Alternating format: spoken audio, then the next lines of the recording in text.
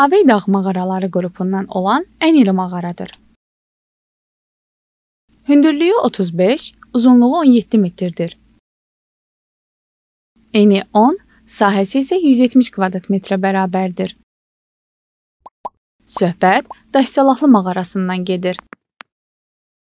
Qazax rayonunun Daşsalahlı kəndindən qərbdə yerləşən vulkanik qayalıq ərazidədir. Yaponiyalı və Amerikalı alimlər dəfələrlə burada araşdırma apararaq onun sirrini çözməyə çalışıblar.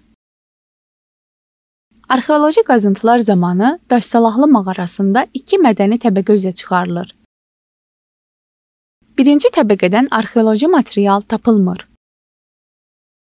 İkinci təbəqədən isə paleolit dövrünə aid materiallar aşkarlanır. Mağaranın girəcəyində diametri 2 metr olan böyük ocaq yeri mövcuddur.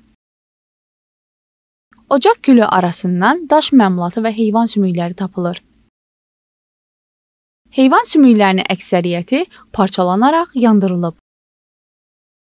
Daş məmulatı əsasən çaxmaq daşı və obsidiandan, yəni dəvəgözündən hazırlanıb.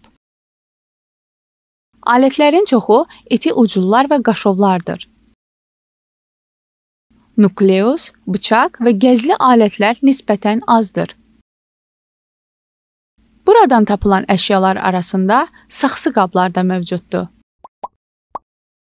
Daş alətlərin hazırlanma texnikası, forması və müqayisəsinə görə Musti dövrünə aid edilir.